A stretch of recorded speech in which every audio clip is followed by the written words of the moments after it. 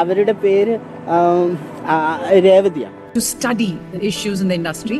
Issue was that we wanted to change the way people uh, uh, looked at us, especially the our male colleagues looked at us. Um, from our actors, directors, producers, uh, the spot managers, uh, everybody.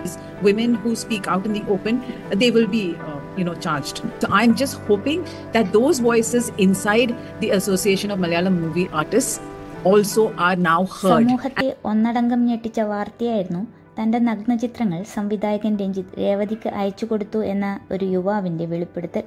രഞ്ജിത്തിനെതിരെ കഴിഞ്ഞ ദിവസം ലൈംഗിക പീഡന പരാതി നൽകിയ യുവാവാണ് ഈ വെളിപ്പെടുത്തൽ നടത്തിയത്. രണ്ടായിരത്തി പന്ത്രണ്ടിൽ ബാംഗ്ലൂരിലെ ഹോട്ടൽ മുറിയിൽ വെച്ച് സിനിമയിൽ അവസരം വാഗ്ദാനം ചെയ്ത് രഞ്ജിത്ത് ലൈംഗികമായി പീഡിപ്പിച്ചു എന്നും അന്ന് ചിത്രങ്ങൾ എടുത്ത് രേവതിക്ക് നൽകിയെന്നുമാണ് യുവാവ് പരാതിയിൽ പറയുന്നത്. യുവാവിന്റെ വാക്കുകൾ ഇങ്ങനെയാണ്.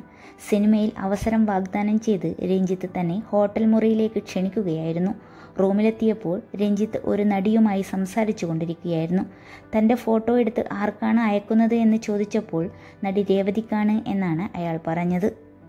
നിന്നെ രേവതിക്ക് ഇഷ്ടമായി എന്നും പറഞ്ഞു. യുവാവ് വെളിപ്പെടുത്തുന്നു. രേവതിയും രഞ്ജിത്തും തമ്മിൽ ബന്ധമുണ്ടോ ഇല്ലയോ എന്നൊന്നും അറിയില്ല. രഞ്ജിത്ത് എന്റെ ഫോട്ടോ എടുത്തിട്ട് അവർക്ക് അയച്ചു കൊടുത്തു എന്നാണ് തന്നോട് പറഞ്ഞതെന്നുമാണ് യുവാവിന്റെ മൊഴി. തനിക്ക് സിനിമയിൽ വേഷം തരാമെന്ന് പറഞ്ഞെങ്കിലും പിന്നീട് ഒഴിവാക്കുകയായിരുന്നു എന്നും യുവാവ് പറയുന്നു. രേവതിക്കെതിരായ മൊഴി എന്ന രീതിയിൽ വ്യാപകമായ പ്രചരണമാണ് ഇപ്പോൾ സോഷ്യൽ മീഡിയയിൽ നടക്കുന്നത്.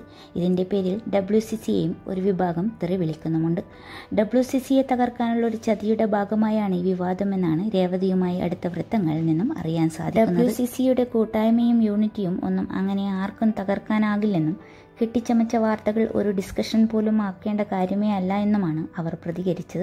അതേസമയം രഞ്ജിത്ത് രേവതിയുടെ പേര് പറഞ്ഞ സമയത്ത് മദ്യലഹരിയിലായിരുന്നു എന്നും അതുകൊണ്ട് തന്നെ രേവതിയുടെ പേര് പറഞ്ഞതും ഒരുപക്ഷെ മദ്യത്തിന്റെ ഹാങ് ഓവറിലായിരിക്കാമെന്നുമാണ് ചില പ്രേക്ഷകർ ചൂണ്ടിക്കാണിക്കുന്നത്. അതുകൊണ്ട് തന്നെ യുവാവിന്റെ മൊഴി മുഖവിലക്കെടുക്കേണ്ടതെന്നും അവർ പറയുന്നു.